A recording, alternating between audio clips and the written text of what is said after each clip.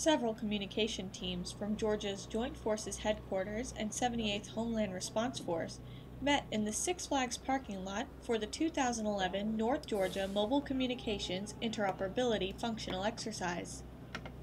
The exercise was planned and put on by GEMA in an effort to bring about two dozen state and local emergency response agencies together from all over North Georgia and to test communication functions across all of their channels.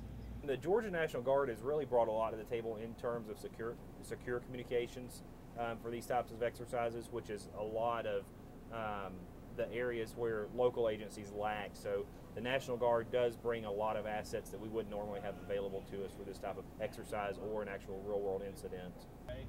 By assigning a series of 50 communication tasks that range from gathering a weather report to simulating a power crash and the complete rebooting of all systems, the exercise challenged teams at various levels.